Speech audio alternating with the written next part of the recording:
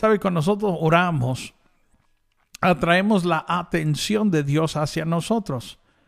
Dios ahora está pendiente de ti, se fija ahora en ti. Pero Él no se va a comprometer contigo hasta que Él no te vea a ti comprometido en lo que tú dices. A veces esperamos que Dios dé el primer paso. En todo caso, el que tiene que dar el primer paso eres tú. Y Dios te va a acompañar. Sí. Jesús dijo, todo lo que tú creas ya tener es lo que Dios te concederá. Marcos 11, 24. Entonces, es, es un, un caminar. Cuando el Señor nos ve a nosotros comprometidos en lo que nosotros decimos creer, entonces lo verá con seriedad.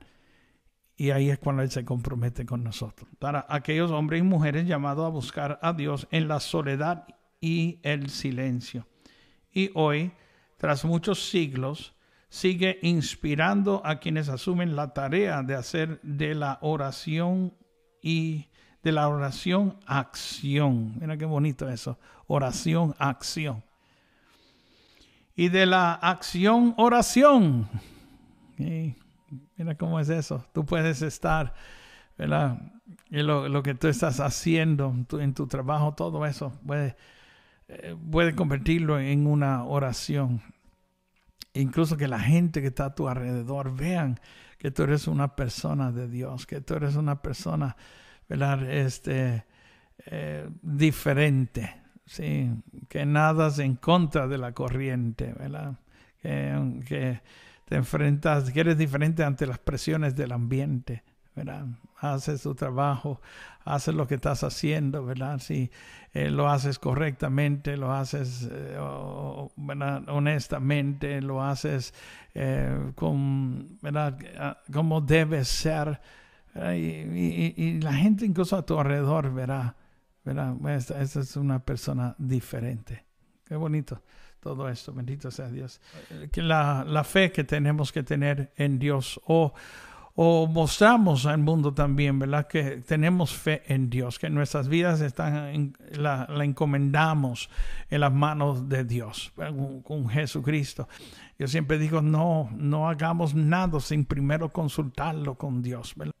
Estamos invitando a Jesucristo a que diga presente. Quizás tú no tienes, un, necesitas una intervención divina en ese momento y no tienes el, el tiempo para hacer una oración larga, ¿verdad? Con mucha fe. Y, estás invitando a Dios en ese momento, a esa situación, a esa circunstancia, y tú verás cómo Dios va a obrar. Amén. Mira, Dios nos protege, nos cuida y, y obra en ese momento, ¿verdad? Yo siempre digo, Satanás le teme a aquellos que saben, ¿verdad? Que, que son hijos de Dios. El diablo les teme. ¿sí? Aquellos que saben, que están seguros que son hijos de Dios. Entregar todas eh, las cosas que nos perturban, nos molestan, ¿verdad? Todas esas cosas que a veces sentimos, ¿verdad? Que llegan a nuestras vidas, que a veces sentimos como fuerza del mal. Ayer hablaba y decía, ¿verdad? No, que no, es un error, ¿verdad? No de reconocer de que las fuerzas del mal existen. Hoy el mundo quiere deshacer todas esas cosas y llamarlo como ignorancia, ¿verdad? existe el mal. Pero decía ayer también. Que la autoridad que tiene el mal sobre nosotros es la que nosotros mismos le damos.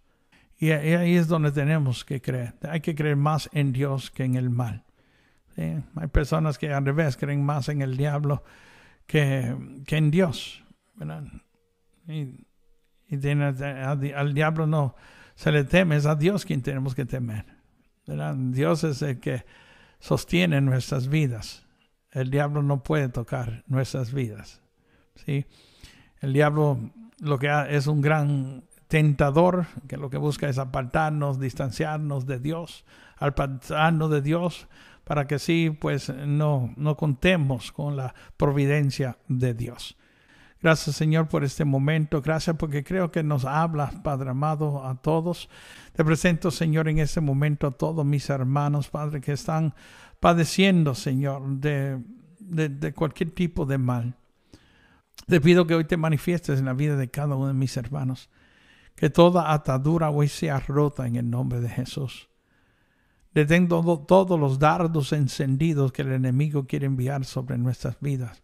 Sé nuestro escudo, Señor, y protégenos de todo mal, en el nombre de Jesús.